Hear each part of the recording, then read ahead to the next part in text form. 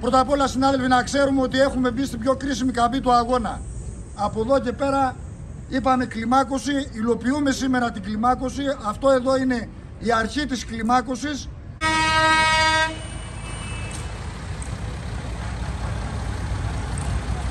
Εδώ είμαστε όλοι επαγγελματίες, αγρότες και κτηνοτρόφοι.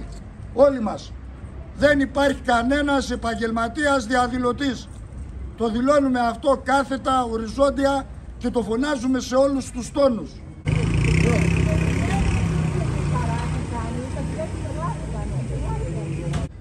Αυτό το πράγμα που συμβαίνει και αυτή η κλιμάκωση του αγώνα είναι γνήσια έκφραση της λαϊκής σουργής, είναι γνήσια έκφραση των συζητήσεων που όλο το προηγούμενο διάστημα κάνουμε στα καφενεία.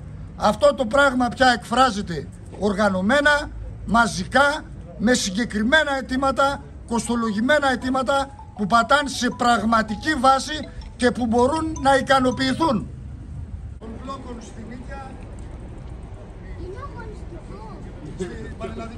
Από τα 42 δισεκατομμύρια ευρώ που δόθηκαν το προηγούμενο χρονικό διάστημα πέσαν στην αγορά στον πρωτογενή τομέα, τον οποίο πρωτογενή τομέα αυτοί που μας αποκαλούν επαγγελματίες διαδηλωτές δώσαν, τον αποκαλούν ατμομηχανή της οικονομίας μαζί με τον τουρισμό έτσι, σε αυτή την ατμομηχανή δώσαν 350 εκατομμύρια ούτε το 10% δηλαδή του κρατικού προϋπολογισμού δεν ήρθε σε εμάς.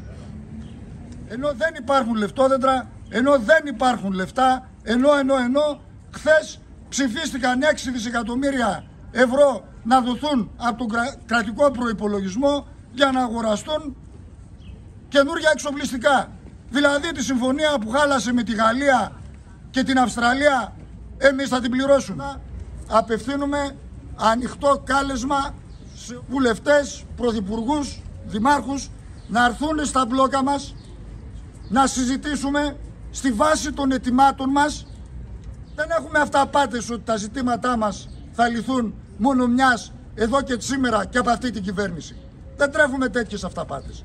Αυτό που ζητάμε και δεν θα κουραστούμε να το λέμε είναι να μείνουμε στις δουλειές μας, να συνεχίσουμε να έχουμε όνειρα, να συνεχίσουμε να αγωνιζόμαστε, να συνεχίσουμε να έχουμε φιλοδοξίες και όνειρα για τα παιδιά μας.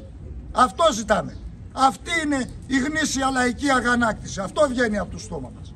Και για όσο διάστημα συνεχίζονται οι αντιλαϊκές πολιτικές που κακά τα ψέματα εφαρμόστηκαν μέχρι κεραίας και από τις προηγούμενες και από την τωρινή.